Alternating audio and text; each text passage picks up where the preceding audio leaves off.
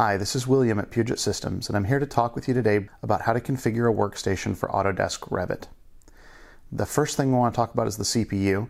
Most tasks within Revit are single threaded or just make use of a couple cores at a time. So for standard workloads, you're best off with a high clock speed processor with only a few cores.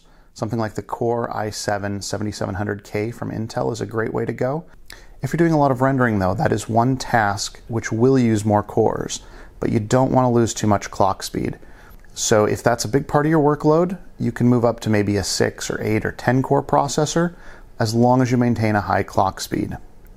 In terms of memory, Revit really doesn't use a whole lot. Uh, the minimum we would say is 8 gigs, although I'd be more comfortable recommending 16 or potentially 32 if you have a really large project or if you tend to run other software in the background while you're using Revit. On the video card side of things, you definitely want to stick with a card that's certified by Autodesk. It's not strictly required to run the software, but if you ever need help or assistance from Autodesk, one of the things they're going to check is what video card you're using, and if you're not using a supported card, they may not be able to help you. Currently, as of this video's recording, the supported cards include the modern Quadro P2000 through P6000 cards, which are all excellent choices for Revit. Though honestly, the 5000 and 6000 are probably overkill, again, unless you're working with extremely complex models.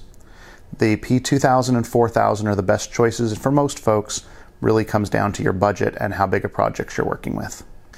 And then one thing I do want to strongly recommend, and it goes for any computer these days, not just for Revit, is a solid state drive. Solid state drives are so much faster than hard drives and also, in our experience, more reliable. So unless you're on a very, very strict budget, definitely go with a solid state drive. Doesn't need to be huge. Revit project files are not massive in size. Usually around 500 gigs is kind of our standard recommendation for an OS drive. You can go up or down from there if you need to, though. And you can also add additional hard drives or solid state drives if you need more storage.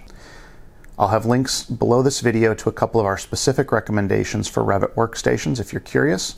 And you can also find a lot of information on our website about the testing we've done on Revit, as well as many other professional engineering, content creation, and scientific applications.